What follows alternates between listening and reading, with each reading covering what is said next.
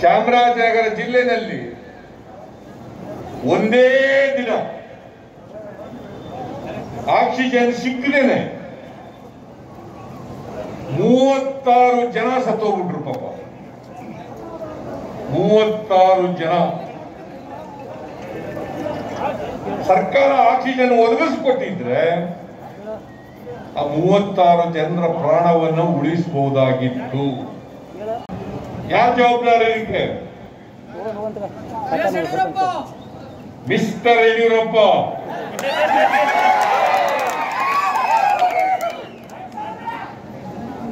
ಅಲ್ಲಿ ಮೂವತ್ತಾರು ಜನ ಸತ್ತಿದ್ದಾರೆ. ಆರೋಗ್ಯ ಮಂತ್ರಿ ಸುಧಾಕರ ಹೇಳ್ತಾರೆ ಮೂರೇ ಜನ ಸತ್ತಿರೋದು ಅಂತ. ಎಂತ ಹಸಿ ಸುಳ್ಳು ನೋಡ್ರಿ. ಜನರಿಗೆ ಸುಳ್ಳು ಹೇಳಿ. ಸುಳ್ಳು ಮಾಹಿತಿಯನ್ನ ಕೊಟ್ಟು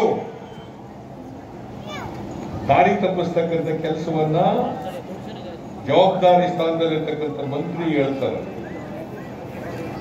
ಯಡಿಯೂರಪ್ಪ ಅವ್ರ ಮೇಲೆ ಕ್ರಮ ತಗೊಂಡ್ರ? ಸುಳ್ಳು ಹೇಳಿದವ್ರ ಮೇಲೆ? ಅಲ್ಲಿ ಜಿಲ್ಲಾ ಮಂತ್ರಿ ಸುರೇಶ್ ಕುಮಾರ್,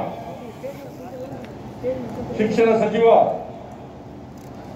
ಅವನು ಕೂತಿರ್ತಾನೆ. ನಾನು ಅವರಿಬ್ರು ರಾಜೀನಾಮೆ ಕೊಡಬೇಕು ಅಂತ ಒತ್ತಾಯ ಮಾಡಿದೆ. ಜುಡಿಷಿಯಲ್ ನ್ಯಾಯಾಂಗ ತನಿಖೆ ಆಗ್ಬೇಕು ಅಂತ ಒತ್ತಾಯ ಮಾಡಿದೆ. ಸತ್ತವರಿಗೆ, ಅವರ ಕುಟುಂಬದವರಿಗೆ ಹತ್ತು ಲಕ್ಷ ರೂಪಾಯಿಯನ್ನು ಕೊಡಬೇಕು ಅಂತೇಳಿ ಒತ್ತಾಯ ಮಾಡಿದೆ. ಕೊಡಲಿಲ್ಲ.